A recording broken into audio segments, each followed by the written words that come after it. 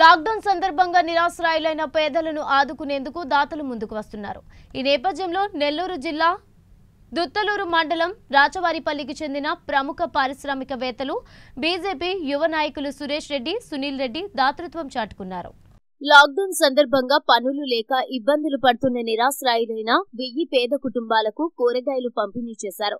ఈ సందర్భంగా ప్రస్తుత పరిస్థితుల్లో పేద ప్రజలు ఆకలితో ఇబ్బందులు పడుతున్నారు. ఈ నేపథ్యంలో పేదలను ఆదుకునేందుకు ముందుకు వచ్చామన్నారు. భవిష్యత్తులో ఇంకా పేదలకు సహాయం చేసేందుకు కృషి చేస్తానన్నారు.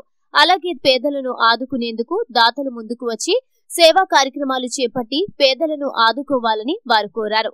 ఈ కార్యక్రమంలో బీజేపీ నాయకులు మల్యాద్రి నాయుడు పరందామరెడ్డి మండల నాయకులు తదితరులు పాల్గొన్నారు. అంత పని సురేష్ చేశాడు ఈరోజు.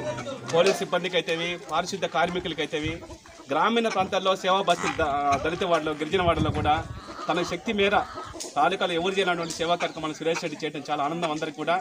ఈరోజు ఇలా స్ఫూర్తిగా తీసుకొని మిగతా కార్యకర్తలు కానీ మన పిల్లల్ని కూడా సునీల్ మన సునీల్ మన సునీల్ రెడ్డి ఉన్నాడు సునీల్ రెడ్డి సురేష్ ఇద్దరు వాళ్ళు.